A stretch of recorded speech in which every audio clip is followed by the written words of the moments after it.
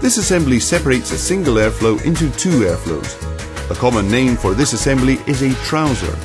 Elbows must be constructed on the branches for this duct assembly.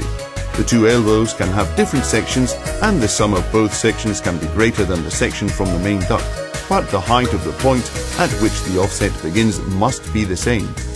The assembly principle is the same as that of the simple dynamic branch.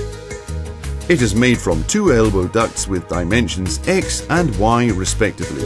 The first step is to add the external measurements of the two airflow outlets x and y. From this sum, subtract the measurement a.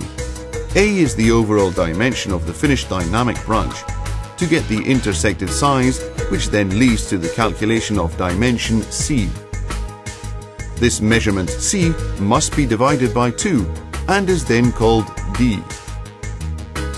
Dimension D is then marked on each side of the ducts, which will eventually be joined, from the edge of each duct as shown in the images.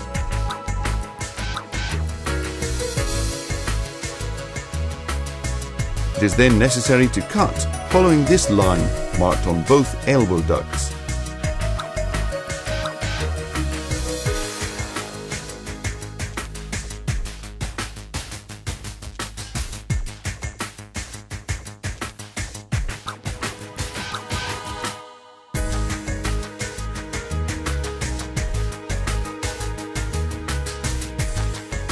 The joints are sealed with Climaver glue and then Climaver tape is used to overlap the joint to increase its strength.